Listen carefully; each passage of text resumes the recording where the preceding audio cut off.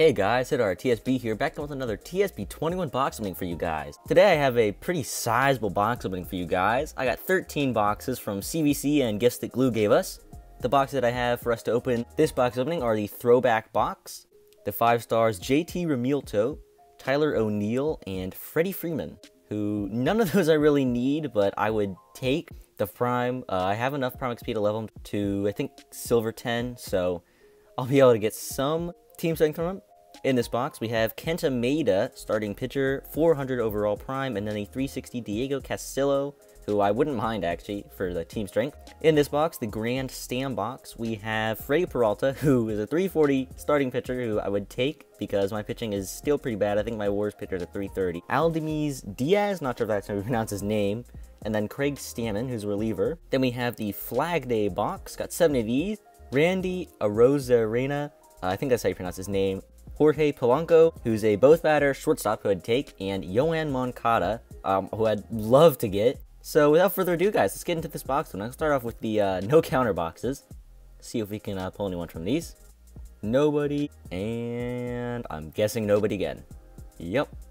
Alright, go on to these Flag Day boxes. Start off with the Flag Day 2 box. And nobody. Second box. Nobody. Nobody again. Refresh our luck here. And last box is Harold Castro, 330. Not going to make my team. Go with the uh, 700 boxes.